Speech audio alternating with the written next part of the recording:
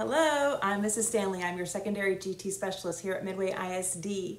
Uh, let me tell you a little bit about myself. Uh, I like all things adventure. My husband and I love to travel. We're always looking for places we can hike and explore the great outdoors. Uh, when I'm traveling, I always look for a place that I can put a boat in the water. I love to kayak and I like to paddleboard. We have two amazing chocolate labs.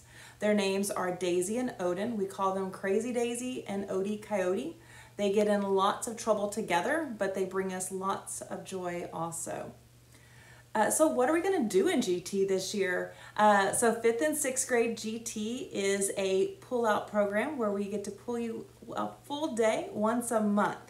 Um, and I love that it's a full day because we can really dig deeper and develop ideas and work together and really complete those thought processes that um, we have.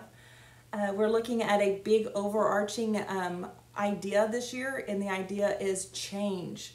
What a better topic than change. We are going through so much changes in this world, in our community, in our schools, within our lives. So let's look ways that we can be positive with those changes, that we can cope with those changes, accept those changes. Um, so every month we have a new theme we get to explore, we get to research, and we get to develop, and we get to work together.